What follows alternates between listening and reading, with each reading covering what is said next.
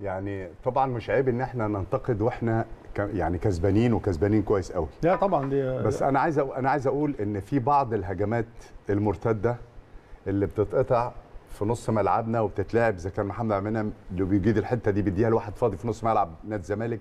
أحيانا كتير يا عمرو كان بيبقى فيه زيادة عددية من النادي الأهلي على نادي الزمالك.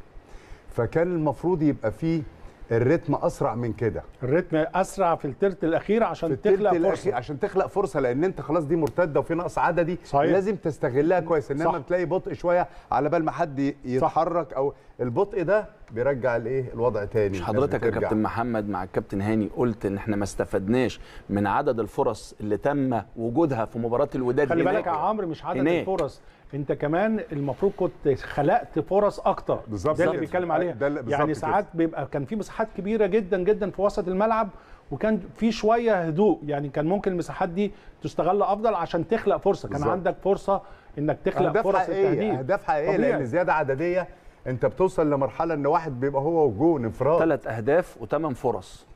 حسين الشحات فرصتين كهربا فرصتين بيرسي تاو فرصتين قفشه فرصة غير الثلاث اهداف. إحنا كمان معانا في سؤال الكابتن هاني بقى. بيومي هيقول لنا. برضه الأرقام والإحصائيات مهمة جدا. في سؤال للكابتن هاني. طب أنا ليه ما اكسبش؟ خمسة وستة وسبعة وثمانية في ماتش زي ده طالما أنا قادر.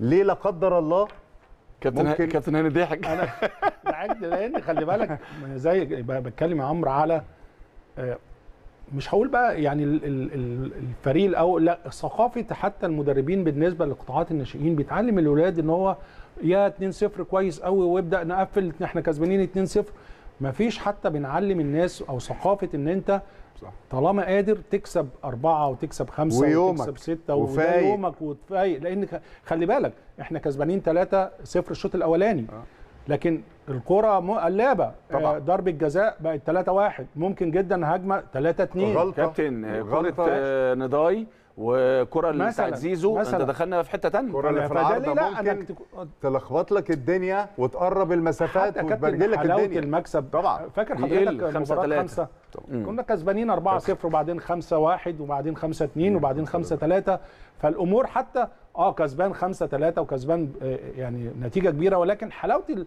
حلاوة المباراة راحت منك. طبعا. وبالتالي انت آه، دي لازم تكون موجودة وثقافة لازم تكون موجودة. آه، وأنا يمكن في ال في ال قبل ما نخش هو بكلمكم على ال ال ألمانيا. صحيح. ألمانيا في كأس العالم كسبت البرازيل على أرضها كام؟ سبعة. آه. سبعة. آه. يعني وبتتكلم في آه، كل خمس ست دقائق بيجيبوا جون. صحيح. ما اكت- ما اكتفاش المنتخب الألماني بعد 3 0 أو إنه 4 0 يحافظ بقى ويقفل ده- ويقفل. البايرن يا كابتن هاني مع برشلونة. والبايرن مع برشلونة. إحنا بنتكلم في رقم عمره ما نتخيل إن برشلونة تخسر رقم زي ده.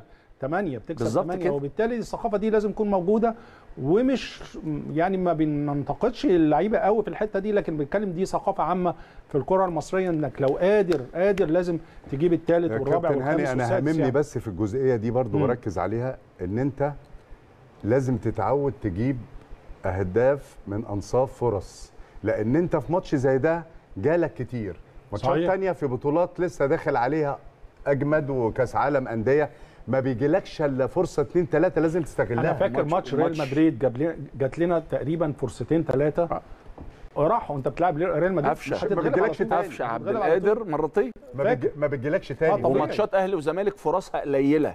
فده اللي أنا أقصده. طبيعي مظبوط. بالظبط. ده اللي أنا أقصده لأن التمرين في التمرين مهما اتمرنت على الجون وانفرادات وكده مش هيبقى زي المباراة في مباراة كبيرة زي أهلي وزمالك في الضغط العصبي اللي انت فيه. طبعا آه، طبعا. عشان تقدر طبعا. يعني تبقى خلاص انت لأن الكوره فيها برضه يا عمرو آه تعود يعني انت فاهم إزاي وإحساس بالمكان.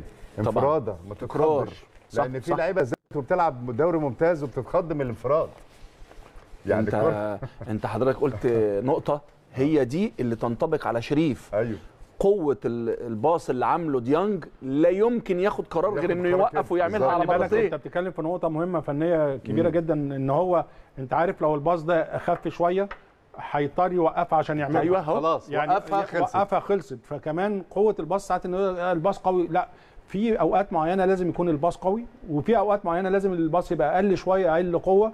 وخلي بالكم كمان التمركز مهم جدا يعني شريف كان واقف بالظبط في في في تمركز متميز واليو ديانج حطها له يعني دي دي هاني كابتن. من سمات راس الحربة ال- الكويس كانوا- كانوا إن كابتن- هو التمركز بتاعه إزاي يحط نفسه في مكان في ال 18 لأن ال 18 مش بتاعه نص ملعب صحيح. لسه طبعاً. طيب هنتكلم. مع حضراتكم لسه عندنا تفاصيل كتيرة وهنتكلم كمان عن المباريات اللي دلوقتي شغالة في الدوري المصري وصراع البقاء في الدوري الممتاز لكن خلينا نستقبل نجمنا الدكتور أحمد بيومي محلل